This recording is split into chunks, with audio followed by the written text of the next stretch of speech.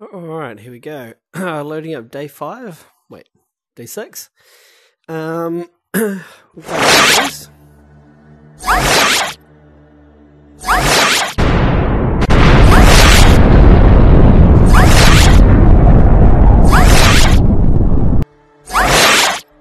Alright, so these guys in, uh, hit your base and we'll destroy it. But that doesn't end the game just yet.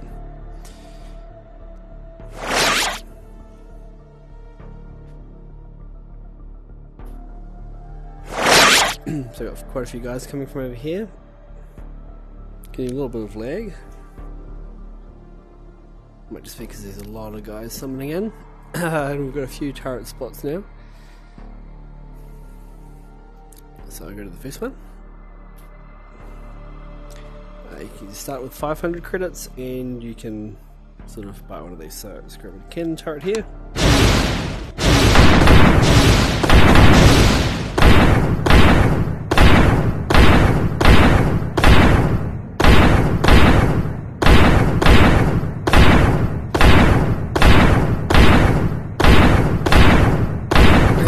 Four hundred. So there's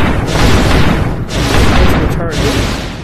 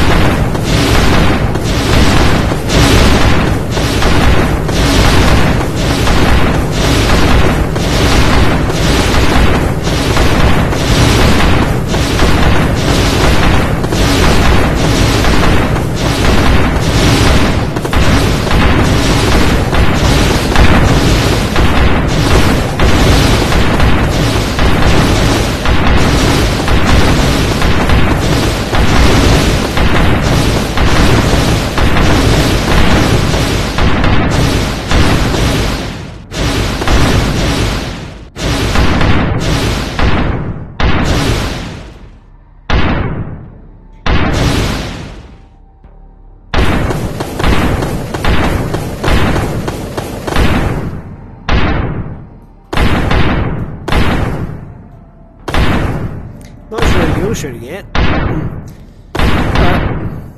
anyway. There you go.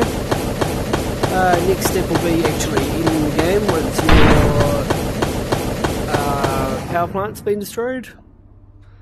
Uh, as well as working on these textures a little bit more and adjusting how many spawn out at once. Since uh, reaching our limit on draw call time for the organization.